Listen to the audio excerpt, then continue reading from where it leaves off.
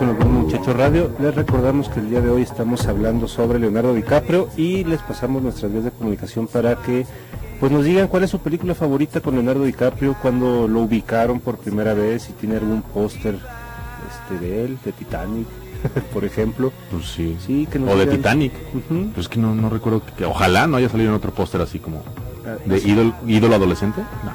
Pues a lo mejor Romeo y Julieta, pero, Ah, Romeo y Julieta. pero sí. como que el póster recuerdo que estaba medio cargado de, de Sí. mucha, de mucha imagen, entonces tal vez no estaba tan- tan padre. Sí. Bueno, las vías de comunicaciones, teléfonos 31 22 42 00, 31 22 42 66. Nuestro Facebook es facebook.com diagonal los buenos muchachos radio y el WhatsApp es el 33 18 80 76 41 en el que sí hay mucha participación. Sí, tenemos un paramédico de la Cruz Verde romántico. Sí. Sí, Eric Morales reportó que hay mucho tráfico en López Mateos, qué raro, en un sábado, y dice que su película favorita es Romeo y Julieta. ¿Qué obo? Ah, bueno. ¿Qué obo? sí. Que luego no diga. Es que no es mala, a mí me gusta No, mucho Romeo y Julieta. De verdad me gusta mucho. Sí, sí, sí, sí. ¿Y saben que la filmaron en Veracruz y la Ciudad de México? Ese dato ñoño que siempre vale la pena decir. Y que también tiene un soundtrack bien padre. Esta está buenísimo. Y es Garbage por ahí, también está Radiohead. Están los Cardigans. Sí, ¿Te acuerdas? sí, claro. Sí, es buena película. ¿Qué más? Eh, ¿Qué más? De la participación de la gente. Bueno, pues la señora muchacha me está me está comentando que eh, este que no hay que olvidar la película de los diarios del básquetbol, de Basketball Diaries, en la que él interpreta pues a este a este chavito, a- hay una escena bueno, que, está- que fue censurada la película porque es, hay una escena en la que él entra con un arma a su salón de clases y, y empieza a matar a sus compañeros. Que fue previo a, Bowling- a, a la masacre en Columbine, Ajá. que después retrató en la pantalla a Michael Moore. Michael Moore, así es. Sí. Sí, esa película yo nunca la he visto, pero Ni en videoclubs, ¿verdad? Es como complicado. es como complicado encontrarla. Habrá que buscar en Amazon, pero sí. A ver, damos un recuento rápido en lo que luego seguimos platicando. A ver, en los noventas empieza la carrera de DiCaprio con Critters. Ajá. Luego, bueno, había estado en, en Varias series de televisión. Crecer Duele, Duele Crecer, ¿te acuerdas? Growing Pains. Sí, sí. Estaba bonita. Critters, luego Poison Ivy con Drew Barrymore. Luego, este, ¿Quién quiere a Gilbert Grape? La que hacíamos hace rato con Johnny Depp.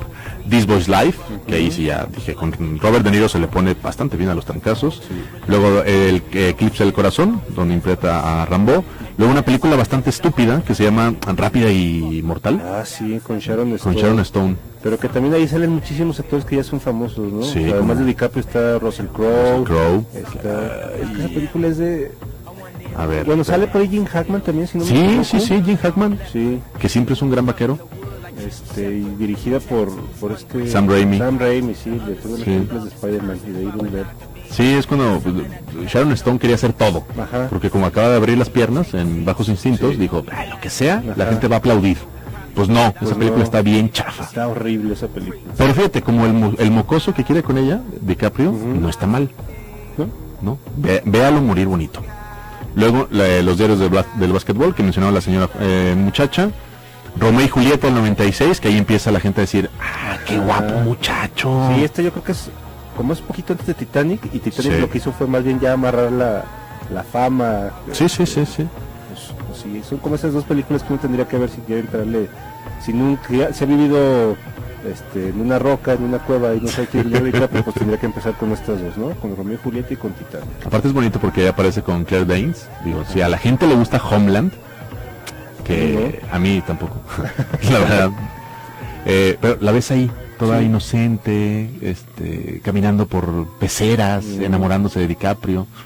Está bonita, Romeo y Julieta. Sí. Y me quedo en Marvin's Rule, que no la he visto, que está con Diane Keaton, con Diane. Keaton, exactamente. ¿Meryl Streep también? Meryl Streep. Sí, ¿verdad? Sí, sí, sí. ¿Tú, ¿Tú la viste? Yo la vi alguna vez, pero no me acuerdo de gran cosa. Pues mira, No, bueno y como la vi hace pues casi casi 20 años, casi casi cuando salió. Titanic, el hombre de la máscara de hierro, donde interpreta según él a, pues, a, a dos, ¿no? Ujú. Al falso y al verdadero rey de Francia, Ajá. Con un gran elenco, Sí. pero una historia muy boba. Son los tres mosqueteros 20 años Sí, después también. sí, sí, sí. Y Pierre Depardieu, y John Malkovich y Gabriel Byrne y no me acuerdo quién es el otro. Pues, eh, Ah, Jeremy Irons. Jeremy Irons. Sí, sí. Es un elencazo Sí, claro. y la película pues nomás no. Y me quedo por ahora en Celebrity. Al rato les decimos más películas de DiCaprio. Ujú, Celebrity de Woody Allen. El, el, el muchacho es hijo de... es un ítalo estado- estadounidense, el papá, y la mamá es alemana. Entonces por eso varios de los rasgos pues sí son más como no es el clásico gringo gringo DiCaprio, si te alcanza. Y tiene un es Leonardo Wilhelm DiCaprio. Wilhelm es el nombre de su abuelo alemán. Entonces, que significa Guillermo, exactamente.